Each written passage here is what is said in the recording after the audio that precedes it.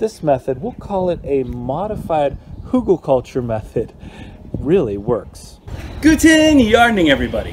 What we have in front of me is about 25 square feet of prime gardening space, and we're using it right now for these five compost bins.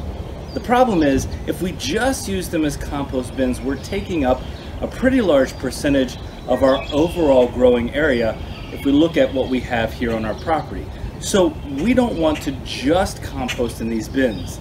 We've had success also gardening here. And we first installed these compost bins three years ago, and after that first year, we had a couple of plants volunteer.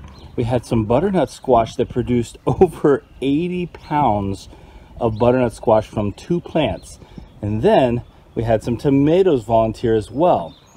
Well, after seeing that success that first year, we decided to intentionally plant in our compost bins last year because we had seen some great success and we were not at all disappointed in the results. We planted eggplant, peppers, tomatoes, and we harvested so much out of these bins.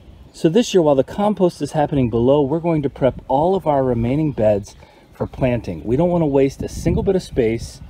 And so I'm going to show you how this process works, how the buildup works. Now, this is from our own personal experience, and we're not saying that there's a specific recipe for success, but what we are saying is we've witnessed the success and we want to build on that.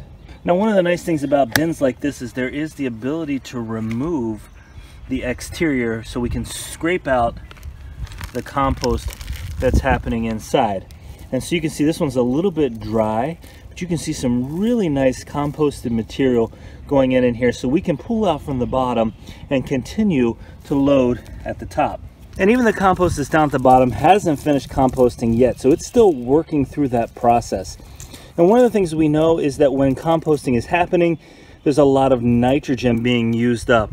And so as we start adding layers to our bed here, we're also gonna add some blood meal so that we can keep that nitrogen down in the lower levels so it's not leaching it down from our top level. And you can see from one of the beds that we've already filled in here at the top that we have a good amount of this nice growing medium and I'll, I'll explain that here in just a second. But again, we don't want that leaching to happen at the root level of whatever plants we put in here. And so we're gonna be really careful about making sure we have plenty of nitrogen down below as we start layering this up. Now, if I dig down in this particular bed and take a look at what's been composting since last year. I mean, we're in pretty good shape, but you can see we've got some sticks in here. And actually, look, that stick just falling apart like so. I mean, it's really getting to a point. Oh, look at that. Look how healthy that is. Really nice worm in here, multiple worms in here. I mean, the environment that's in here is really conducive to breaking everything down. And it reminds me, in some ways, you know, based on the different layers and the different ingredients that we have in here, of a kind of hugelkultur setup. You know, the hugelkultur setup is typically a mounded setup with your sticks at the bottom and then multiple layers including grass and compost etc going upwards that creates a bed that usually lasts for about four or five years before it has to be replaced. In many ways this is similar. We have our woody structures toward the bottom. We have some layers of grass, we have other compost in here, we have spent soil that we're putting in here. So we've got a lot of those similarities. If you have any experience with hugelkultur, we'd love to know what that experience has been like for you. So one of the first things I'm going to add to this compost bin, this is some old already starting to break down mulch. This is all natural mulch. There's no coloring or anything like that. This is just mulch mixed with some soil. So this is our woody content that we're going to be adding toward the bottom. So I'm going to put some of this in there. And at the same time, I have an excess of this kind of fibrous material here in this bin.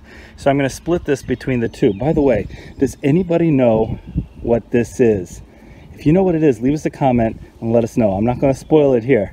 But what did this come from?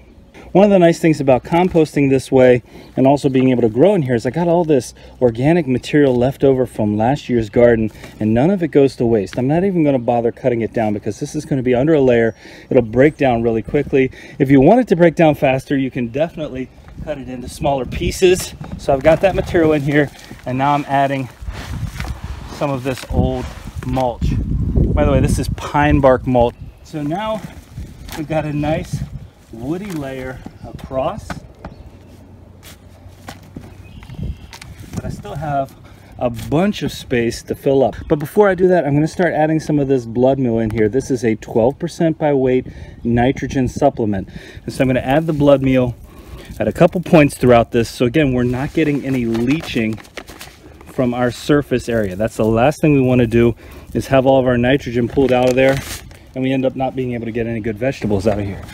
So we've got our bottom layer now in a standard hugelkultur setup, the next layer is probably going to be something like grass. But in this case, what we have is the remains of the spinach plants and the radish plants that we pulled up and then we used the lawnmower to chop into fine bits so that it would compost easily. So we have this. We also will have some grass for one of the other bins here.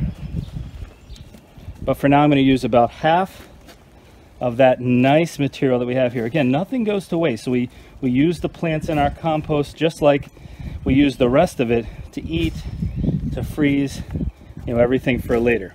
So we've got a nice couple of layers in here and we're gonna cover this up now with a layer of leaves. We've actually had these oak leaves for a couple of years.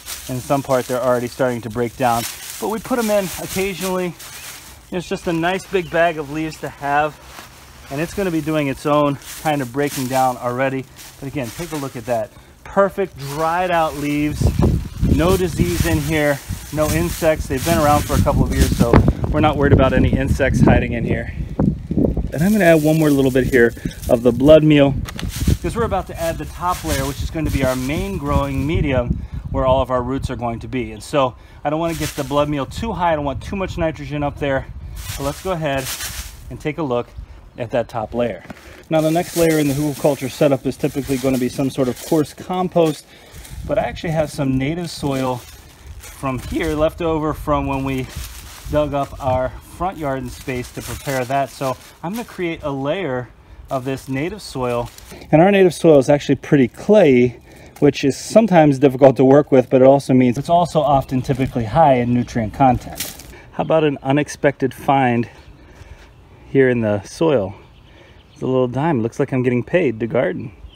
So I only added, I would say, maybe an inch of this native soil because I don't want this to get too compacted uh, or too dense. But this next part I'm really excited about because I see this question asked quite often, and that is I have all of this soil that I grew in last year.